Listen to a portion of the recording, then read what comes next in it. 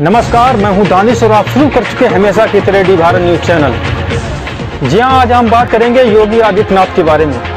योगी आदित्यनाथ का आज डिस्ट्रिक्ट फरकाबाद में दौरा हुआ, जो संकिसा, जो स्थान है यहाँ पे, बहुत मशहूर स्थान है, वहाँ पे उनकी रैली हुई।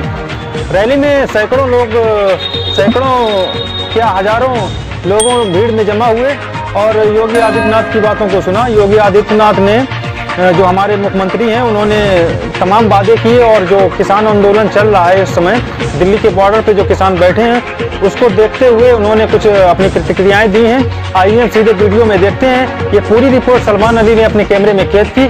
आइए हम देखते हैं, आपको दिखाते हैं कि किस तरीके से योगी आदित्यनाथ ने यहाँ पे वादे किए और क्या कहा उन्होंने। आइए चलते हैं सीधे।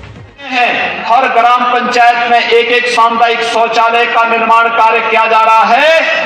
और गाँव की ही किसी महिला को उसके रख रखाव के साथ जोड़ा जा रहा है। उस महिला को छह हज़ार रुपए महीने का मानदेय देकर के उसके रख रखाव की ज़िम्मेदारी दी जा रही है। याद करिए, गाँव के लोगों के लिए सफ़ाई का भी एक केंद्र और दूसरा, एक महिला को रोज़गार भी वहाँ से प्राप्त हो रहा है।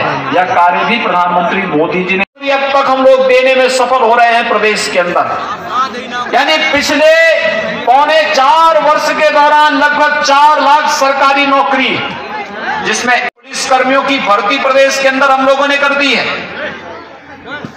एक लाख दस हज़ार के आसपास शिक्षकों की नियुक्ति प्रदेश के अंदर हुई है। विभिन्न विभागों में अन्य नियुक्तियों का क्रम चला है और प्रदेश के अंदर बिना भेदभाव के योजनाओं का लाभ किसानों को प्राप्त प्रदान करने की कार्रवाई चाहे वह किसानों के फ़सल ऋण माफ़ी का कार्य रहा हो, चाहे वह प्रदेश के अंदर प्रधानमंत्री फ़सल बीमा योजना और प्रधानमंत्री किसान सम्मान निधि की योजना का लाभ देने का रहा हो, ये सभी योजनाएँ पूरी ईमानदारी के साथ